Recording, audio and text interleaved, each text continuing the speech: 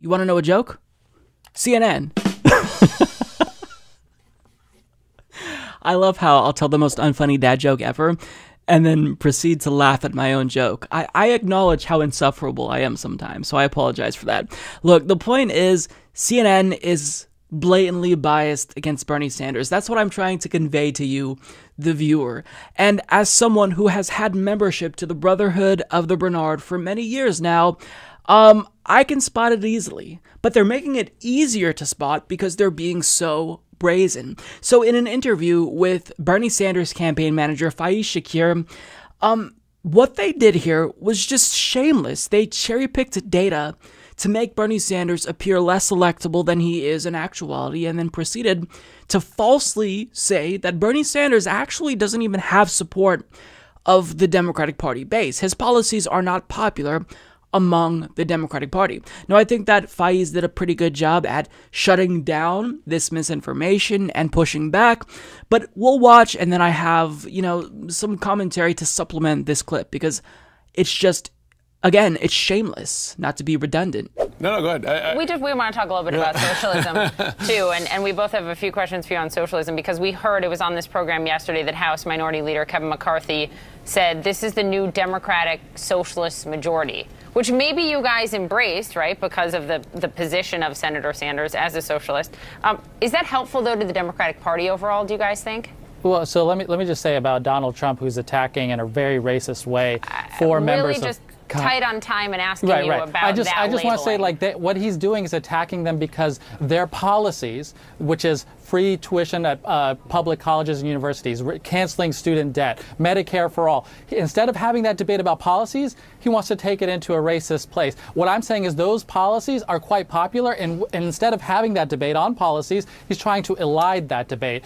We think that this is the popular approach to go. Americans support this across the, the, board. But the numbers don't support it, actually. I mean, there's an ABC News Washington Post poll that found that Trump would beat a candidate perceived as a socialist by 49% to 43%, whereas other candidates uh, Jim, not perceived as socialists would beat him. So I'm just curious, are you convinced you have the public behind you? Jim, there's there's a guy with a name Bernie Sanders, and I hope you will take a look at Bernie Sanders against Donald Trump and look at those head-to-head numbers, and then report back to me what you find, Jim, because I think you will find in the 25 of the last 25 polls, Bernie Sanders is beating Donald Trump head-to-head in every poll out there.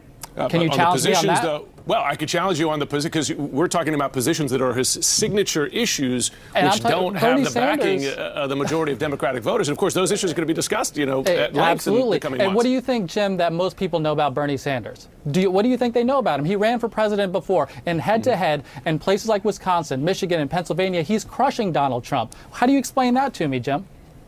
Well, listen, uh, we'll let the voters decide. I'm just saying on the issues that you're making your signature issues, the, the, the polls show they don't back those particular issues. And as voters learn right. about those issues, that might be factored into their decision.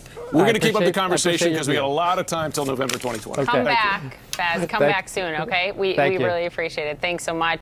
Listen, Faz, let's cut to the chase. I just want you to accept and admit that socialism is bad. Can you just do that for me? Or if not, we're just, you know, we're going to cut off your mic. I mean, that's what it seemed like, you know, they were kind of leading towards. But he cited a poll where it found that someone who was perceived to be a socialist would lose to Donald Trump. Trump would win 49 to 43%. And then he poses the question Are you convinced that the public would be behind you given the results of this poll? Except, what's the obvious response? You cherry picked the data. When you look at 29 polls, Bernie Sanders beats Donald Trump 28 times. And in the one poll where he loses to Donald Trump, other candidates weren't faring too well either. So Faiz was almost correct in saying Bernie Sanders beats Trump in 25 out of the last 25 polls. Maybe he's referring to internal polls, but I mean, the point is Bernie Sanders performs very well in hypothetical matchups against Donald Trump. And most importantly, he's beating Trump in the Rust Belt states that Hillary lost. And the last poll that just came out showed Bernie beating Trump by seven points. That's outside the margin of error. So by citing one poll that shows that Donald Trump would perform well against a generic socialist Democrat, you're not educating your viewers. You're cherry picking data in order to lend credence to this claim that, you know, a socialist would be inherently less electable against Donald Trump. But the data doesn't actually show that. I know you have that one poll, but we look at aggregate polling data if we want to be the most accurate because that's the most reliable. Like if you take any one poll, sure, there can be some value in that, but you just look like a liar. Like, I understand that CNN wants to present themselves as neutral arbiters of information, but you're not helping with that case here when you do things like this. Now, another quote that I wanted to get here, uh, get to here, we're talking about positions which are his signature issues, which don't have the backing of the majority of Democratic voters. Now, he said this twice. Now, Bernie Sanders is a populist. He has the backing. His policies are backed by a majority of people. When you look at most of his policies, most Americans support it. But when you actually control for Democratic Party voters, they especially back Bernie's policy ideas. So, what are you talking about? I mean, let's just look at Bernie Sanders and his signature policy proposal, for example, Medicare for All. So, when you look at this poll that was conducted between June 29th and July 1st from the Morning Consult, it found that Democrats are actually the most supportive, I repeat, the most supportive of Medicare for All. And a majority of Democrats still support it even when you tell them it diminishes the role of private insurers. But 78 percent support it when you tell them that they get to keep their doctors and still go to the same hospital. So, I mean, what are you talking about? What the fuck are you talking about? The policies that Bernie Sanders are promoting, they have majority support, but they're especially popular among Democratic Party voters. And it's not just Medicare for All. The Green New Deal is supported by over 90% of Democrats. A poll from May showed that Elizabeth Warren's plan to cancel most student debt has majority support. So I could only imagine that Bernie's plan to cancel 100% of student loan debt is even more popular, especially among Democrats. Most Americans support free college and raising the minimum wage. The overwhelming majority of Americans support paid maternity leave and government funding for childcare. And as I tell you about how popular all of these policies are that Bernie Sanders is proposing, they're popular among the majority of the population for the most part, but they are especially popular among Democratic Party voters. So, what are you saying? These are incredibly popular policies among the Democratic Party base. And that's what you want to do to win an election, especially a primary.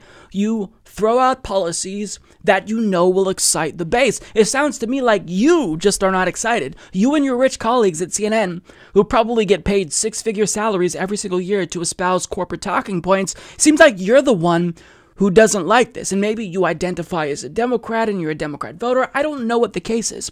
But what you're saying is factually incorrect. It's demonstrably untrue. And you should feel ashamed of yourself to say something like this because it's a verifiable lie. We could just look at one public opinion poll on any given policy from Bernie Sanders, and most of the time, that particular policy that he is championing will be supported by a majority of Americans and especially Democratic Party voters.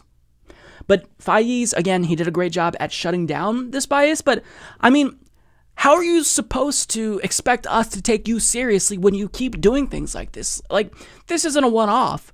This isn't a one off. You keep presenting biased information. You clearly have contempt for Bernie Sanders and his supporters, and you expect us to trust you? Really? You're not calling it like you see it. You're not calling balls and stripes. It's evident to everyone watching that you're trying to construct a narrative. You want voters to believe Bernie Sanders is less electable, so they don't vote for him. So they vote for someone like Joe Biden, who will maintain the corporate status quo. Uh, not going to happen. Because in the age of the internet, we can actually look stuff up now. We don't just have to take your word for it. You could support the Humanist Report at patreon.com slash humanist report. But trust me, I'd have way more supporters on Patreon if that was my podcast. Sad.